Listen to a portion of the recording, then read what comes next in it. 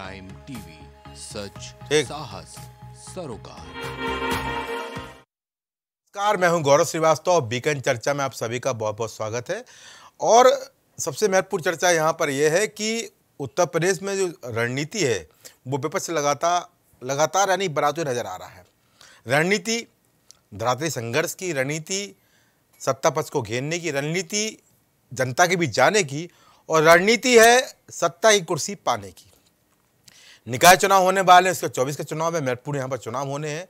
और यहाँ पर अलग अलग पार्टियों की अलग अलग नीतियाँ बननी शुरू हो गई हैं। समाजवादी पार्टी ने मानसून सत्र के दौरान भी अपनी जो उपस्थिति दर्ज कराई, जनता के बीच में भी, सत्र में भी, और मार्च के माध्यम से बताया कि अब वो अपनी पुरानी जो उनका रूप है, संघर्ष का, उस रूप में आने वाली हैं और आ चुकी हैं। और लगातार अब संघर्ष की स्थिति बनी रहेगी। इसके अलावा जो सुभाषपा है वो भी सावधान यात्रा के माध्यम से, अब अपनी अलग व्यवस्था बनाने में लग गई है। पचहत्तर जिलों में यात्रा होगी, लखनऊ से शुरू हो चुकी है और बिहार के पटना में जाकर ख़त्म होगी। इसके अलावा कांग्रेस भारत जोड़ो यात्रा शुरुआत कर चुकी है, सात सितंबर को राहुल गांधी ने भारत जोड़ो यात्रा की शुरुआत की। और महत्वपूर्ण यहाँ पर यह भी है कि कांग्रेस का राष्ट्रीय अध्यक्ष भी बनने वाला है, उत्तर प्रदेश के अध्यक्ष की घोषणा हो गई है, ब्रजलाल खाबरी। दलित वर्ष से ब्रजलाल खाबरी को यहाँ पर महत्वपूर्ण पद देते हुए प्रदेश अध्यक्ष बनाया गया कांग्रेस ने, क्योंकि लल्लू, जो कि अजय कुमार लल्लू, जो कि उस समय अध्यक्ष थे, जब कांग्रेस विधानसभा चुनाव में हार गई थी और हारने के कारण उन्होंने अपनी बताते हुए कि ये ज़िम्मेदारी मेरी है और उन्होंने उस पद से इस्तीफा दे दिया था। उसके बाद लगातार सात महीने से पद खाली चल रहा था और अब इस पद पर ब्रजलाल खाबरी ने अपनी आप को स्थापित किया है और शुरुआत की है और कहा भी है कि अब हम एक बेहतर कल की शुरुआत करेंगे, कांग्रेस को उसी मुकाम पर पहुंचाएँगे जिस मुकाम की कांग्रेस हमेशा से हकदार रही है। तो वहीं आम आदमी पार्टी भी अब शुरू से संघर्ष करती नज़र आ रही है, उपस्थिति दर्ज कराती है, कांग्रेस के बात करें या सुभाषपा की बात करें या बसपा की बात करें या आम आदमी पार्टी की बात करें। सभी विपक्ष में अपनी अपनी भूमिका निभा रहे हैं और आम आदमी पार्टी की सक्रियता भी ये बता रही है कि आने वाला निकाय चुनाव बड़ी ही संजीदगी से और गंभीरता से लड़ने वाली है। महत्वपूर्ण विषय है और साथ ही साथ यहाँ पर एक बात स्पष्ट होती है कि जो चुनाव, निकाय चुनाव है या चौबीस का चुनाव है, वो भी अब स्पष्ट हो चुका है और बेहतर यहाँ पर अब जो राजनीति है वो होने वाली है। कि जब तक विपक्ष अपनी भूमिका नहीं निभाएगा, जब तक विपक्ष अपना मुद्दे नहीं उठाएगा, जब तक विपक्ष जनता की मुद्दों को सरकार के सामने नहीं रखेगा, तब तक विपक्ष की भूमिका से निर्वाह करना केवल एक, केवल बेमानी होगा। क्योंकि अगर आपको निर्वाह करना है, अगर आपको निर्वाह करना है तो निश्चित रूप से यहाँ पर आपको कुछ व्यवस्थाओं को मज़बूत करना होगा। अगर आपको निर्वाह करना है तो आपको यहाँ पर कुछ व्यवस्थाओं को ठीक करना होगा। अगर आपको निर्वाह करना है तो सबसे पहले आपको धराती संघर्ष पर उतरना होगा, क्योंकि जनता तभी आपको धराती संघर्ष पर मानेगी जब आप उसके लिए उसके मुद्दों को उठाते नज़र आएँगे।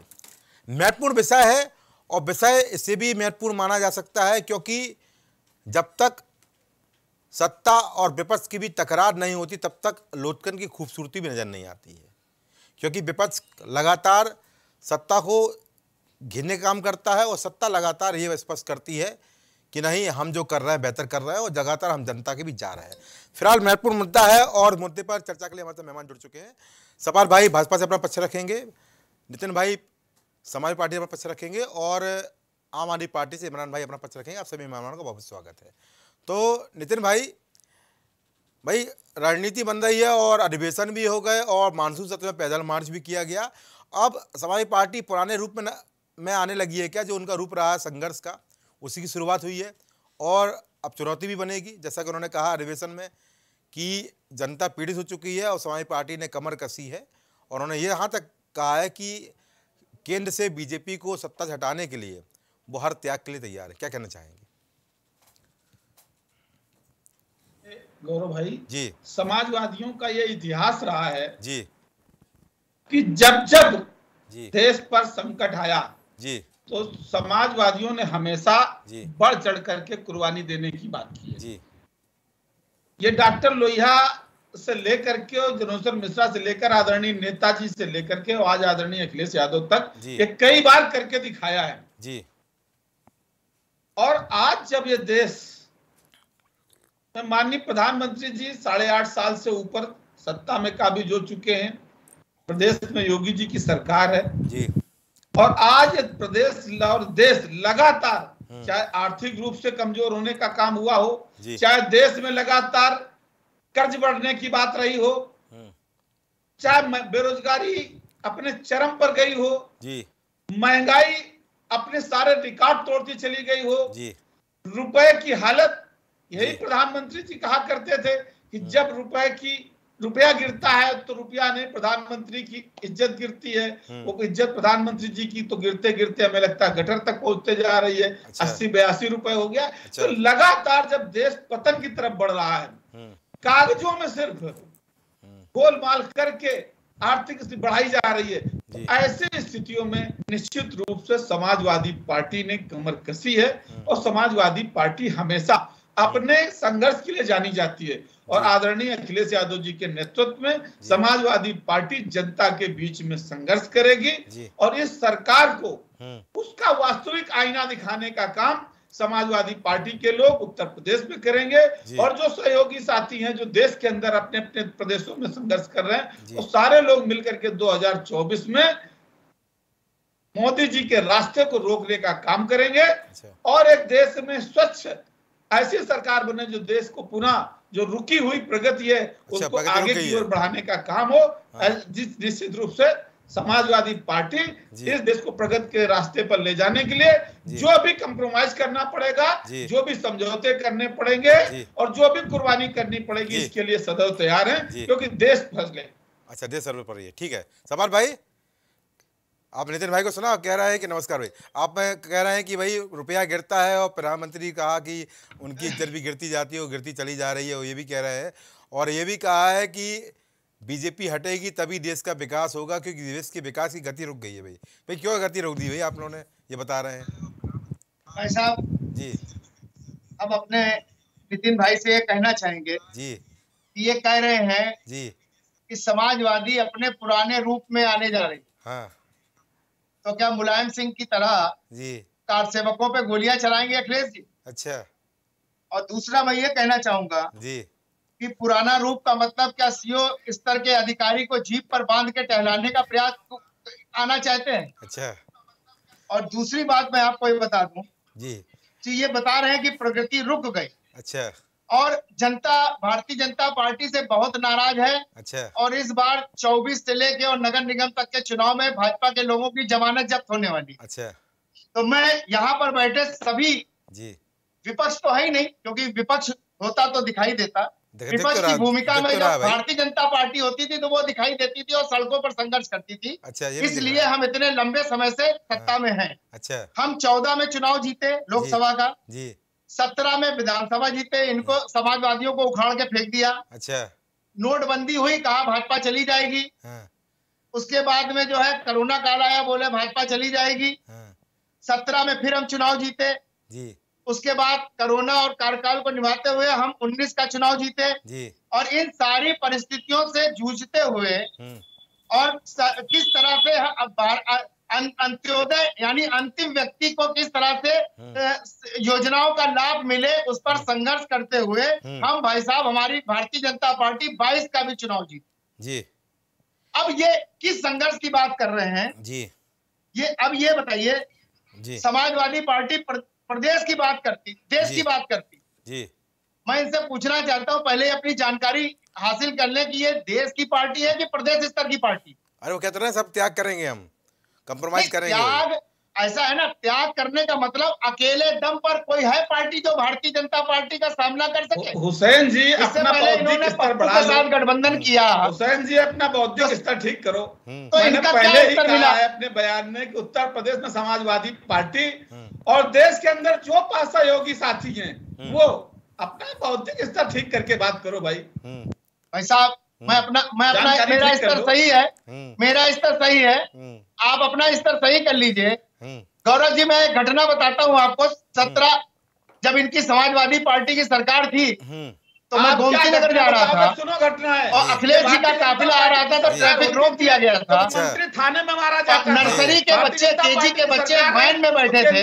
मंत्री लड़कियों से मालिश वो छोटा सा पाँच साल का बच्चा थाने के अंदर वो बोला कि क्राइम मिनिस्टर क्या आ रहे हैं। बताओगे? जी यही घटना याद क्राइम मिनिस्टर आ रहे थाने में हैं आप सोचिए कि पाँच साल के बच्चे पर इनकी सरकार की क्या छाप पड़ी अखिलेश जी की क्या छाप पड़ी कि वो बच्चा कह रहा है कि क्राइम मिनिस्टर सपार है भाई नितिन भाई कुछ बोल रहे हैं सपार भाई नितिन भाई कुछ बोल रहे हैं सुनिए बताओगे जी, नितिन भाई। जब भारतीय जनता पार्टी की सरकार होती है तो थाने में मंत्री मार दिया जाता है हम्म। यही घटना बताओगे कि महिला जब शिकायत करने जाती है थानेदार बलात्कार कर देता है हम्म। यही घटना तो बताओगे कि जब भारतीय जनता पार्टी की सरकार में सरकार निठारी होती है, कांड हो तो ऐसी घटनाएँ होती रहती हैं है तो आपकी सरकार के बलात्कार हो बलात्कार जाता है। गिनाओ यही आपकी यही- सरकार यही- के यही मंत्री आज भी जेल में दिलाओगे। है गायत्री प्रजापति जरा कहाँ बताओ है कितना आर्थिक कर्जा बढ़ा है देश? गायत्री प्रजापति है बताएँगे कितना बढ़ गया बता दो रुपए है। कहाँ चला गया प्रगति। सिलेंडर की कीमत कितनी हो गई? प्रगति की बात बता दो। प्रगति और चली देश की गई? नहीं रुकी है। भाई मुद्दा तो यही है कि प्रगति, अब पार्टियाँ। संघर्ष पे उतारू हो गई है। मुद्दा तो यही है ये दूसरे पे आरोप प्रत्यारोप चल- चलते रहेंगे। भाई साहब भाई साहब भारतीय जनता हो पार्टी को संघर्ष की ज़रूरत नहीं है। भारतीय अच्छा। जनता पार्टी 24 घंटे जनता के बीच में रहती है। अच्छा। वो भारत की जनता की पार्टी है इसीलिए उसका नाम भारतीय जनता पार्टी है। सपा सपा वाले नहीं है क्या? जनता की पार्टी जुमला पार्टी है। सपा का न सपा का न तो कोई नेता है न कोई नीति है बता पार्टी के लोगों- अखिलेश यादव पर्चा भरते हैं। अखिलेश यादव उसको उसको जनता है के बीच में देते हैं। अच्छा। ये कोई पार्टी है? यहाँ अच्छा। तक का सफ़र करता। लिए सत्तर साल लग गए। कांग्रेस में भी दिल्ली में ड्रामा बावन हो से शुरू को लेकर के। एक परसेंट वोट मिलता था दो परसेंट वोट आप बताइए अखिलेश यादव पर्चा भरते अखिलेश यादव पास करते देते राष्ट्रीय अध्यक्ष बन जाते हाँ। इसको आप पार्टी कहेंगे? अच्छा। क्यों? जेपी। हम्म, जेपी नड्डा का कार्यकाल आपने बढ़ा दिया?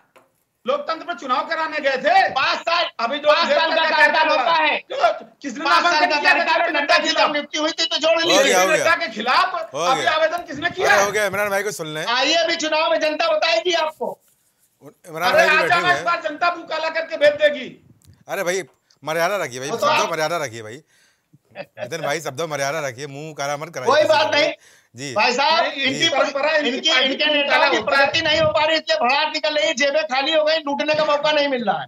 अच्छा ठीक है ठीक है ठीक है। इमरान भाई भाई अब रणनीतियाँ बनती नज़र आ रही हैं। समाजवादी पार्टी भी चुनावी मोड में आ चुकी है। सुभाषपा भी आ गई है कांग्रेस को भी नया अध्यक्ष मिल गया है। बिलाल खाबरी की अभी घोषणा हुई है।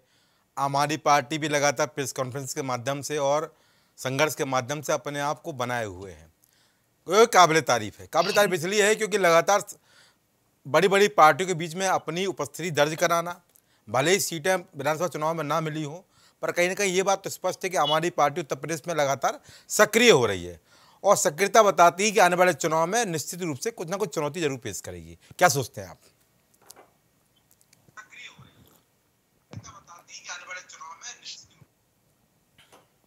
के जी। चुनाव के दरमियान आती है चुनाव के दरमियान सक्रिय किसी भी पार्टी की बात करना भी जो। विधानसभा चुनाव में तो चाहे प्रदेश की सबसे प्रमुख विपक्षी आवाज़ आपकी इमरान भाई की। जी। जी बोलिए इमरान बोलिए। बोलिए। आवाज़ आ रही बोलिए। आवाज़ नहीं रही हमारी? जी आ, आ रही है बोलिए बोलिए इमरान भाई। गौरव भाई मैं कह रहा था कि जहाँ तक बात दूसरी विपक्षी पार्टियों की है जी। तो भारतीय जनता पार्टी के सामने ये दोनों ही पार्टियाँ तभी सामने आती हैं जब कोई चुनाव होता है। अच्छा। चाहे उत्तर प्रदेश की प्रमुख विपक्षी पार्टी जी। और चाहे देश की जो सबसे प्रमुख विपक्षी पार्टी मानी जाती है। तो ये दोनों पार्टियाँ तभी सक्रिय होती हैं भाजपा के सामने जब कोई चुनाव सामने होता है चुनाव में आती है चुनाव लड़ती हैं हारती है और चली जाती है। अच्छा। फिर चार साल तक खामोश बैठती है फिर कोई चुनाव आता है फिर किसके लिए बोल रहा है? सपा के लिए बोल रहा है क्या? सपा सपा के लिए बोल रहे नहीं नहीं मैं किसी पार्टी का नाम नहीं लूँगा। देश की जनता बहुत अच्छे से जानती है प्रदेश की जनता अच्छे से जानती है अच्छा। कि जहाँ तक आम आदमी पार्टी की बात है आम आदमी पार्टी ने लगातार एक विपक्षी पार्टी के रूप में एक सकारात्मक विपक्ष के रूप में एक मज़बूत विपक्ष के रूप में एक व्यवहारिक विपक्ष के रूप में अपनी मज़बूत उपस्थिति दर्ज कराई है इसे कोई इनकार नहीं कर सकता है जिसकी वजह से पंजाब में हमने शानदार जीत हासिल की। जिसकी वजह से आप देखेंगे गोवा के अंदर हमारा विधानसभा में पदार्पण हुआ। जिसकी वजह से आप देखेंगे नगर निगमों में हमने गुजरात के अंदर पदार्पण किया। हमने मध्य प्रदेश के अंदर मेयर तक की सीट थी, जो तमाम सीटों पर हम दूसरे तीसरे नंबर पर तमाम पार्षद हमारे जीत के आए। और आज हालत यह है कि देश के हर राज्य में कोई ना कोई जनप्रतिनिधि ऐसा है जो आम आदमी पार्टी से बिलोंग करता है।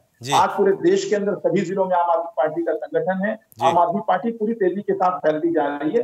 दो राज्यों में सरकार के बाद आज गुजरात के अंदर भी हम सरकार बनाने जा रहे हैं। आज सभी वहाँ की जनता जो है बिल्कुल आँखें बिछाए आम आदमी पार्टी का इंतज़ार कर रही है अच्छा। तो राज्य दर राज्य आम आदमी पार्टी का जनाधार बढ़ रहा है हम्म। आम आदमी पार्टी की लोकप्रियता बढ़ रही है आम आदमी पार्टी के वोटर्स बढ़ रहे हैं हम्म। आम आदमी पार्टी के, के विधायक बढ़ रहे हैं तो निश्चित रूप से जो 2024 का चुनाव होने जा रहा है अच्छा आज देश की जनता ने इस बात की चर्चा करना शुरू कर दिया है हाँ। कि रणनीतिक तौर पर अगर कोई पार्टी भारतीय जनता पार्टी को हराने का दमखम रखती है हराने की सलाहियत रखती उस पार्टी का नाम आम आदमी पार्टी अच्छा। है रणनीतिक तौर पर अगर कोई नेता मोदी जी को चुनौती देने का काम कर सकता है तो उस नेता का नाम अच्छा। अरविंद केजरीवाल है ये सिर्फ़ हम नहीं कह रहे हैं कि देश की जनता यानी अगला। चुनाव, 24 एक चुनाव सर्वे किया था महागठबंधन के यानी सिरमौर आप ही होने वाले हैं क्या महागठबंधन के सिरमौर जी आम आदमी पार्टी की जहाँ तक बात आम आदमी पार्टी ये पार्टियों से गठबंधन में विश्वास नहीं रखती। अच्छा अकेले आम आदमी पार्टी एक सौ एक सौ तीस करोड़ जनता के साथ हम गठबंधन बनाने का काम कर रहे हैं अच्छा। एक सौ तीस करोड़ जनता को सवाल हंस रहा है आपकी बात पर। कर रहे हैं और उस एक एक सौ तीस करोड़ जनता को अपने साथ जोड़कर हम देश को नंबर एक बनाने का काम करेंगे हम देश को नंबर एक बनाने की कवायद में जुटे हुए हैं। उसके लिए हम अच्छे स्कूल अस्पताल बना रहे हैं सड़कें बना रहे हैं बिजली फ्री दे रहे हैं और और अपने प्रदेशों में जहाँ जहाँ हमारी सरकार है वहाँ जनता को मज़बूत करने का काम इमरान हैं। भाई आपकी बात पर सपार भाई और नितिन भाई दोनों हंस रहे थे। क्या बात सपार भाई क्या हुआ? गौरव जी मैं गौरव जी मैं पूछना चाह रहा हूँ जी। कि दुनिया की सबसे बड़ी पार्टी जिसके सदस्य हैं दस दस करोड़ से ऊपर हाँ। मैं इमरान भाई से पूछूँगा आपकी सदस्यता कितनी है? बताएँगे? पूछ रहे थे इमरान भाई आपकी सदस्यता पूछ रहे हैं? कितनी देखिए, है? यही आपके ये 130 करोड़ को जोड़ने की बात कर रहे हैं। मैं पूछ रहा हूँ गुजरात में क्या है? हालत है? मैंने हाँ। पूछा हाँ। आप हमसे दिल्ली के अंदर चुनाव लड़ने के लिए आए थे तभी यही अहंकार भाषा आपकी थी आज आप सदस्यता बता दीजिए हमारी सदस्यता समाजवादी दी दुनिया की सबसे बड़ी। सदस्य- सदस्यों वाली पार्टी दस करोड़ से ऊपर सदस्य है हमारे। बुक कर दिया था दूसरी बार इनोवा का दस करोड़ से ऊपर सदस्य है भारतीय तो जनता पार्टी। समाजवादी पार्टी समझने के भूल मत करिए अच्छा। समाजवादी पार्टी नहीं है कांग्रेस पार्टी समाज पार्टी। क्यों बोल रहे हैं समाज पार्टी क्या क्या गुजरी पार्टी थोड़ी ना है भाई विपक्ष की भूमिका में है भाई नितिन भाई आप कमज़ोर पार्टियाँ समझने का काम नहीं हैं। कमज़ोर पार्टी नहीं समझ रहे हम तो सदस्यता पूछ रहे हैं समझ के तो आम आदमी पार्टी भारतीय सदस्यता अभियान में चले चले ठीक है ठीक है। ठीक है। नितिन भाई कुछ बोला नितिन भाई सुन ले बोले नितिन भाई। आपकी औकात बताने का काम कर रहे हैं। जी। सफायत बोल रहे हैं जी सफायत की तो औकात सभी बता रहे हैं क्योंकि क्योंकि भारतीय जनता पार्टी के मुस्लिम कार्यकर्ता है तो मुसलमान को तो औकात बताई जाती है। आपने भी औकात बताई समाजवादी ने भी औकात बताई। सत्तर साल कांग्रेसियों ने भी मुसलमानों को औकात बताई। इसीलिए आप मुसलमानों की ये हालत करने की बात की है। तो आम आदमी पार्टी भारतीय जनता पार्टी की पर्दे के पीछे की दूसरी शाखा है सर आरएसएस ये क्या बात है भाई? वो बोलते हैं चुनौती रहेगी आप शाखा बोल रहे हैं भाई। नितिन भाई ये समझ नहीं आता इनको इनसे पूछ लो कि हाँ। गुजरात के अंदर अभी आरएसएस ने तैयारी की है कि नहीं? भारतीय जनता पार्टी अच्छा, की आम आदमी पार्टी को सहयोग करने की। हाँ। तो ये तो आरएसएस के स- स- स- बैकलागी चलने वाले लोग हैं। इनसे पूछो जो जो जो दिल्ली के अंदर जो प्रदर्शन हुआ था लेकर के लोकपाल को इमरान भाई- सुन लीजिए। उसको लीड कौन कर रहा था? इमरान- भाई सुन लीजिए। पूरा आरएसएस था। उसको लेकर पूरा आरएसएस। आरएसएस से निकल कर इमरान भाई सुन लीजिए जवाब दीजिएगा। भाई साहब चुनाव लड़ने भारतीय जनता पार्टी अरे बारी बारी बोलिए बारी बारी बोलिए। एक मिनट, इमरान भाई, एक मिनट, इमरान भाई। चुनाव नहीं लड़ती है। मेरी इमरान भाई नितिन भाई की बात बताइए। भाई बारी बारी बोली बारी बारी। पहले नितिन भाई को सुन पार्टी ले भाई सबसे हाँ, नितिन भाई बोले। इमरान भाई रुक जाइए इमरान भाई सुन लीजिए सुन लीजिए। बोलिए नितिन भाई बोलिए। हुसैन भाई ये दोनों लोग समाजवादी पार्टी को ही टारगेट करेंगे क्योंकि दोनों एक ही थाली के चट्टे बट्टे हैं। इनका अच्छा। इतिहास बताता हूँ अच्छा। जब दिल्ली के अंदर लोकतंत्र लोकपाल को लेकर के एक आंदोलन हुआ था उस आंदोलन की अगुवाई आरएसएस कर रहा था। हम्म। उसको पीछे से सपोर्ट करने वाला आरएसएस था और उसके बाद कांग्रेस के खिलाफ एक माहौल बनाया गया। चूँकि कांग्रेस का विकल्प कोई चाहिए था भारतीय जनता पार्टी विपक्ष और विपक्ष दोनों नहीं हो सकती थी इसलिए पक्ष में भारतीय जनता पार्टी खड़ी हुई अच्छा। और। विपक्ष के लिए आम आदमी पार्टी का उदय अरविंद केजरीवाल के रूप में हुआ अच्छा। जिन जिन राज्यों में कांग्रेस भारतीय जनता पार्टी नहीं लड़ सकती है हाँ। वहाँ आम आदमी पार्टी को आगे करके पीछे से भारतीय जनता पार्टी सहयोग करती पंजाब में नहीं आ सकती थी अच्छा तो इसलिए पंजाब में भारतीय जनता पार्टी के लोगों ने पीछे से आम आदमी पार्टी को सहयोग किया अच्छा। क्योंकि गुजरात में हैं क्या? से भाजपा की सत्ता है अब सुन लो अब सुन लो सुन लो में हैं क्या? गुजरात में भी लंबे समय से विपक्ष की सत्ता है अब लंबे समय से भारतीय जनता पार्टी होने की वजह से अब लोग उगता हुए तो वही आरएसएस वही आरएसएस कर नहीं पाते भाई और रुकिए रुकिए रुकिए। बदतमीजी करते बारी बारी बोलिए बारी बारी बोलिए। भाई साहब ये चुनाव पर बहस हो रही है कि आरएसएस पर बहस हो रही है? चौबीस के चुनाव अरे भाई, बारी- बारी बोलिए। आरएसएस की तैयारी हो रही चलिए चलिए हो गया हो गया हो गया। हो गया हो गया हो गया। भाई बारी बारी बोलिए। नितिन भाई नितिन भाई नितिन भाई। सपार भाई बोलेंगे बारी बारी बोलिए। सपार भाई अपना जवाब दीजिए बोलिए। भाई हम ये कहना चाह रहे हैं देखिए ये आरएसएस की बात कर रहे हैं। आरएसएस के बारे में इसमें से कोई कुछ नहीं जानता। अच्छा। लेकिन आरएसएस तो बीजेपी को जोड़ देते हैं ला करके। जी। भाई आरएसएस एक राष्ट्रवादी संगठन है और जो राष्ट्र हित में कार्य करता है आरएसएस हम्म, उसको कहते हैं। हम्म, भारतीय जनता पार्टी से कोई मतलब नहीं। यहाँ चुनाव 24 की तैयारी है नगर नगर निगम निकाय के चुनाव की बात हो रही है हाँ। उस पर तो ये बहस करेंगे नहीं? अच्छा। उस पर बात करें क्या तैयारी करके किस क्या क्या तैयारी कर रहे हैं उस पर बात करें मुझसे। हम्म आ तो गए धरती उतर तो गए अच्छा। अरे भाई आप भी आरएसएस के मेंबर बन जाओ जाओ शाखा में किसने रोका है? हम्म। आरएसएस में तो सभी का सभी के लिए दरवाज़ा खुला है। चाहे वो कांग्रेस का हो चाहे बीजेपी का हो चाहे वो समाजवादी का हो चाहे वो आप पार्टी का हो कोई भी हो चाहे वो देवान के मौलाना हो चाहे नदवे के मौलाना हो कोई भी जाए संघ में शाखा में जा सकता है। फजर की नमाज़ पढ़े शाखा में जाए किसने रोका? ठीक है ठीक है। नितिन भाई जवाब दीजिए इमरान भाई की बात लेता आप हूँ। भी शाखा से प्रेरणा लीजिए। हमने कहा ये हुसैन हुसैन जी आरएसएस की शाखाओं में जाएँ हाफ़ चड्डी पहन करके खुद दंड बैठक करें जाकर के इनको किसी ने रोका नहीं है। अच्छा। इनको दूसरे को राय देने की ज़रूरत है हम लोग समाजवादी लोग हैं। हाँ। और क्यों? लेकर संघर्ष करना चाहते हैं। क्यों ले रहे हैं आप? हम क्यों लिया आपने आरएसएस क्यों नहीं लेंगे भाई? क्यों नहीं लेंगे? आप आरएसएस का नाम? ये राजनीतिक बहस हो रही है। ये राजनीतिक बहस हो रही है।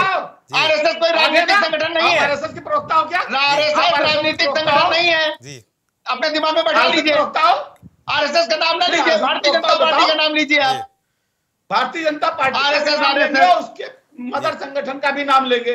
जी। आप बताओ आपको क्यों बुरा लग रहा है? जी। अगर आपका नहीं बुरा इसलिए लग रहा है तो आप राजनीतिक दल है राजनीति की बात करिए। आरएसएस को बीजेपी से क्यों जोड़ देते हैं आप? क्यों? आरएसएस राजनीतिक राजनीतिक सक्रियता नहीं रखता। भारतीय जनता पार्टी के संगठन मंत्री कौन होता है? भारतीय जनता पार्टी के संगठन मंत्री कौन होता भारतीय है? जनता पार्टी का संगठन मंत्री भारतीय जनता पार्टी का होता है। लेकिन आप अखिलेश यादव राष्ट्रीय अध्यक्ष होंगे तो मुलायम सिंह आता ना ने जाता उनको बना चुनाव दिया उसके बाद के लिए अखिलेश का बहस बेटा करने। बनेगा। दुनिया जानती है कि ना होता भारतीय जनता पार्टी का संगठन मंत्री आरएसएस से आता है? जी। भारतीय जनता पार्टी का होता है? जनता पार्टी का संगठन मंत्री। आरएसएस भारतीय जनता पार्टी का होता है। आरएसएस का संगठन मंत्री यहाँ नहीं आता है। भारतीय जनता पार्टी का संगठन मंत्री भारतीय जनता पार्टी का होता है, है। वो भारतीय जनता पार्टी के लिए कार्य करता है। ठीक है ठीक है। इमरान भाई कुछ बोलना चाहते हैं? इमरान भाई को सुकून से सुन आरएसएस किसके लिए काम करती है? जी। आरएसएस देश के लिए काम करती है? राष्ट्रवादी संगठन है। चलो, ठीक है। आर राष्ट्रीय स्वयं सेवक संघ। ये ये पूरा फुल फॉर्म है राष्ट्रवादी तभी इनके ऊपर बैन किया गया था। ये राष्ट्रवादी थे तभी बैन किया गया था। जी। बैन तो पीएफआई में भी किया है। जी।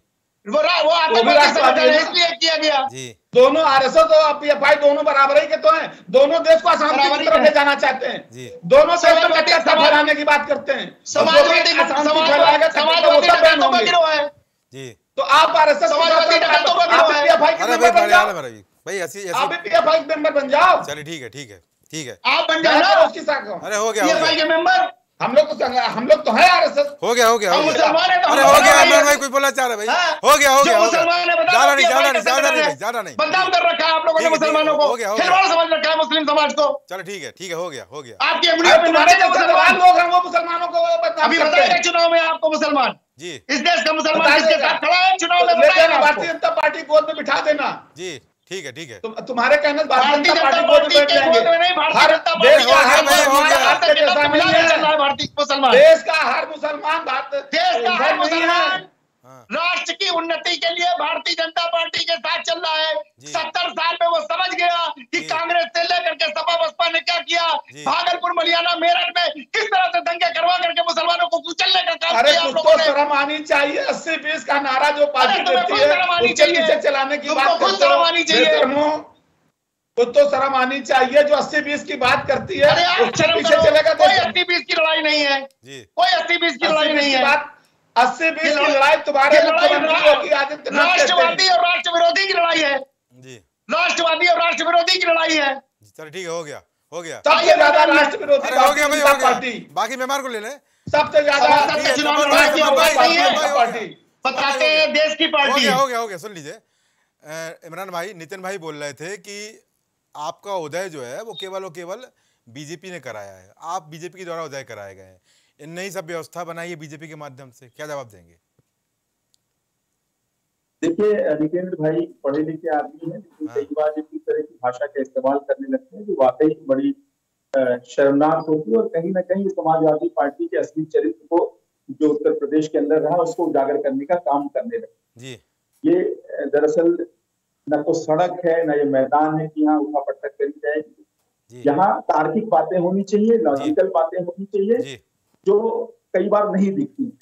इन्होंने बात करी कि भारतीय जनता पार्टी ने आगे कर दिया आम आदमी पार्टी को ताकि वो कांग्रेस पार्टी को हरा दें। अरे भाई दिल्ली में भारतीय जनता पार्टी बेहद मज़बूत पार्टी है। हम्म। आप देख लीजिए बत्तीस विधायक उनके रहे। इस बार उनके जब हम जब हम सरकार में आए तब बत्तीस विधायक उनके रहे। हम्म। तो भारतीय जनता पार्टी प्रमुख विपक्षी पार्टी थी दिल्ली के अंदर। जी। उसने अपने आप को हराने के लिए आम आदमी पार्टी को आगे कर दिया वहाँ कांग्रेस हरा नहीं जा सकता था। तो ये सब बे, बे, बेकार की बातें हैं। अच्छा। कांग्रेस पार्टी इतनी कमज़ोर पार्टी है उसको तो चाहे जो चाहे हरा दे। अच्छा। जनता अगर जिता भी देती है तो कांग्रेस खुद से लड़के हार जाती है। कांग्रेस तो इतनी कमज़ोर पार्टी है। अच्छा। कई राज्यों में हमने देखा कि जनता ने जिता दिया कांग्रेस को हाँ। तो कांग्रेस वाले लड़ लड़ के हार गए आपस में। अच्छा। जब उनको बाहर कोई विपक्ष नहीं मिलता तो आपस में विपक्ष तैयार कर लेते हैं। पंजाब में देख लीजिए। राजस्थान में देख लीजिए मध्य प्रदेश में देख लीजिए तो इनकी आपस की लड़ाई इतनी होती है कि इनको बाहर से लड़ने की ज़रूरत नहीं पड़ती है ये खुद ही हार जाते हैं। अब उस कांग्रेस का हुआ दिखा रहे हैं कांग्रेस जो है उसको हराने के लिए भाजपा ने आम आदमी पार्टी का जी। लिया दरअसल ये समझ रहे हैं इनकी जो लापरवाहियाँ रही हैं हाँ। इनकी जो नाकामियाँ रही हैं ये जो एसी रूम में बैठ के राजनीति करते हैं जिस वाली बात पार्टी के नेताओं हैं। जिस पार्टी के नेताओं का इतिहास आंदोलन के संघर्ष से भरा है? अरविंद केजरीवाल जी। रिक्शा में बैठ कर दिल्ली में घूमते हैं। और जिस झोपड़ी में बैठ करके मुख्यमंत्री कार्यालय चलाते हैं। नेताओं का इतिहास आंदोलन और संघर्षों से भरा रहा हो अच्छा। उसका जो आज का नेता है वो एसी रूम में बैठ के संघर्ष करता है। एसी रूम में बैठ के कैसे आंदोलन किया जाता है? हम्म। अगर इसकी कोई पाठशाला चला सकता है तो अखिलेश यादव जी चला सकते अच्छा। अच्छा अखिलेश यादव जी के बारे में उनके राजनीतिक सफ़र के बारे में कुछ दो, दो बातें कहना चाहूँगा। जी। 2012 में माननीय मुलायम सिंह यादव जी के रहम रहमो करम से मुख्यमंत्री बनते हैं। हाँ। उसके बाद फिर चुनाव लड़ते हैं सत्रह का चुनाव हार जाते हैं। हम्म, तो मुख्यमंत्री से 2019 में सांसद बन जाते हैं। हम्म, उसके बाद 2022 का चुनाव लड़ते हैं फिर विधायक बन जाते हैं। हम्म। आने दीजिए धीरे धीरे ग्राम प्रधान और ग्राम पंचायत सदस्य तक पद पे जाएँगे और अपने घर में पैक हो जाएँगे। हैं क्योंकि उन्होंने उस राह को छोड़ राष्ट्रीय दिया है जो राह समाजवादियों की हुआ करती थी जो राह जयप्रकाश नारायण लतीफ को टोकूँगा तो उन्हें बुरा लगेगा बोले, बोले, बोले, गलत बोले। बात बोलते हैं। बोले बोले उस राह को जी। और आज वो जी बोले पूछ रहा हूँ तो। केजरीवाल जी। आज इनके पार्टी लतीफ सुन लो। अरविंद अरविंद जी। अरे भाई सुन लीजिए नितिन भाई को जवाब दे रहा है जी, है। जी। इमरान से मुझे पूछना इमरान भाई सुन लीजिए। एसी का यूज़ नहीं करते इमरान भाई सुन लीजिए। वो वो ई रिक्शे में बैठ करके घूमते हैं जी। और किसी झोपड़ी में बैठ करके कार्यालय चलाते हैं। किसी झोपड़ी में बैठ करके पार्टी के संयोजक बने हैं। किसी झोपड़ी में बैठ करके मुख्यमंत्री का का- का काम काज चलाते हैं और ई रिक्शे में बैठ करके घूमते हैं ना। अरविंद केजरीवाल कभी एसी का इस्तेमाल तरीके से बात करते हो कि वही अरविंद केजरीवाल हैं करके आते हैं और पब्लिक के बीच आउट करते हैं। ये ये ये घूम रहे हो। और अन्ना के आंदोलन को आगे अरे बारी बारी बोले बारी बारी हो गया। अन्ना के आंदोलन को बेच करके राजनीति करने वाले लोगों ये भाई सुन लीजिए। अभी लेता हूँ। इमरान भाई आपके बात लेता हूँ। हो गया। हो गया, इमरान भाई, हो गया। इमरान से इनको ये बता दो कि इनका दुश्मन कौन है? अरे भाई बारी बारी बोलिए। समझ में समझ से बाहर हो जाती है बात भाई। बोलिए नितिन भाई बोलिए। बोलिए इमरान लतीफ को ये नहीं पता है पता है कि इनका कि इनका टारगेट कौन है हाँ। कि ये समाजवादी पार्टी से लड़ रहे हैं हाँ। या भारतीय जनता पार्टी से लड़ रहे हैं अच्छा। ये कहते हैं कि मैं बीच में इनको टोकता हूँ हाँ। इनको अपने टारगेट से क्योंकि यही तो मैं बार बार सिद्ध करना चाहता हूँ ये भारतीय जनता पार्टी की तो अच्छा। भारतीय जनता पार्टी और आम आदमी पार्टी आज मिल करके समाजवादी पार्टी को घेरने ठीक का है। काम कर रही है। ये ठीक। इनका चेहरा बेनकाब हो रहा है। इनको घेरना चाहिए भारतीय जनता पार्टी को। जी। तो ये आज इनका जो अंदर का अस्थिर में सांप बने बैठे थे ठीक। इनके अंदर की जो चीज़ें बाहर निकल चलो ठीक है ठीक हो गया। हो गया हो गया। हो। गया हो गया। हैं ठीक ठीक हो गया। आप सभी मेहमानों का इस कार्यक्रम में जोड़ने के लिए बहुत बहुत धन्यवाद। तो यहाँ पर चर्चा थी कि विपक्ष अब पूरी तरह धरातरी संघर्ष को उतर आया है। पर हमने यहाँ देखा कि विपक्ष अपने आप में ही लड़ा जा रहा है। विपक्ष एक दूसरे पे ही आरोप लगा लगा रहा है। फिर कैसे महागठबंधन बनेगा? कैसे कोई सिरमौर बनेगा? और कैसे भारतीय जनता पार्टी को चुनौती दी जाएगी? क्योंकि जब तक विपक्ष स्वयं में ही लड़ता रहेगा, यहाँ विपक्ष को आपस में ही लड़ाया जा रहा है। सपा अलग ज्ञान देती है, आम आदमी पार्टी का अपना फलसफा है। और भारतीय जनता पार्टी यहाँ एक मुस्तैद राजा की तरह खड़ी रहती है और बताती है कि हाँ हम बेहतर काम कर रहे हैं और विपक्ष जो अपना निभाएगा, भूमिका निभाएगा, जनता के मुद्दे उठाने के लिए संघर्ष करेगा तो निश्चित से कोई परिणाम बदलेंगे। पर यहाँ पर परिणाम तो जब बदलेंगे, जब धरातरी संघर्ष होगा, परिणाम जब बदलेंगे, जब सारा विपक्ष एक होगा और परिणाम जब बदलेंगे, जब प्रत्येक पार्टी के लोग जनता के मुद्दों को उठाएँगे। यहाँ पर एक दूसरे पर आरोप प्रत्यारोप करना बहुत आसान है, पर जनता की लड़ाई लड़ना उतना ही कठिन। इसलिए अगर आपको वास्तव में कुछ बेहतर परिणाम लाने हैं तो सत्ता पक्ष और विपक्ष पर आरोप प्रत्यारोप करने से बजाय अपना जातीय संघर्ष मज़बूत करिए जनता के बीच जाइए कि अगर जनता दुखी है तो जनता के आँसू पहुँचना भी आपका नैतिक कर्तव्य है। और जब जनता की बात आप सुनेंगे जनता के आँसू पहुँचेंगे तो जनता का मिलेगा जनाधार और तभी सबका होगा बेड़ा पार। तो आज की चर्चा में इतना ही। मुझे निवृत्ति नमस्कार। कुछ भाव पुष्प। आप देख रहे हैं प्राइम टीवी सच